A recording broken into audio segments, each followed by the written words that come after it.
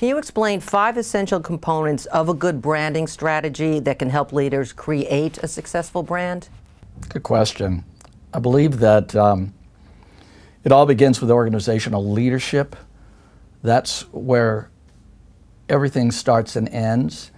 There are, of course, individual components of the brand. Um, but let's let's say that the very first one is leadership. That I need strong leadership to hold the brand together. Secondly, I need courage for. And this may not be the kind of components that you would imagine, but without courage, there's not going to be a brand that has any uh, impact at all on the marketplace because the brand should make you a little bit weak at the knees uh, in order to uh, to have an impact on the market.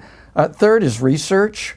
Uh, you really need to know the facts. One of the things about our particular clients is they're very, in fact, really all of them, they're very left brain individuals. They want to know the value that they're getting from this. And they have opinions, and opinions can easily become fact in their mind. And so our goal is to provide the facts in return to them about their firm, about their organization, about the marketplace, et cetera, so that they'll understand that. Creativity is key. There's no point in creating a brand with correct strategy and data, all the data in the world, if it's not creative and going to have, once again, an impact on folks. And then finally, this may be ultimately the most important thing is stay the course.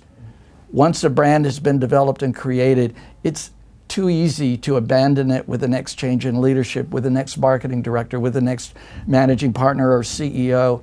Uh, it's important to, to keep own, own the brand and cleave to what, the, what we've decided and agreed to is the brand and brand strategy.